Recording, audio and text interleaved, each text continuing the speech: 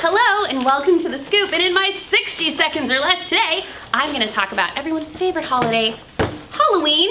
And what do we do here at Halloween at Access? We decorate pumpkins. Now no carving because this whole moldy pumpkin falling apart grossness that animals are eating is just too gross. But we do pumpkin decorating. Now nothing too gory please, we don't want to scare our clients, but coming soon to an Access hospital near you, you'll be getting your pumpkins, get your different departments together, get your groove on with decorating. Is it gonna be a witch? Is it gonna be a goblin? Is it gonna be Trisha's head on a pumpkin? I don't know. It could be anything here at Access. So get your exciting decorative ideas together. We can't wait to see what you guys come up with and thanks for watching The Scoop.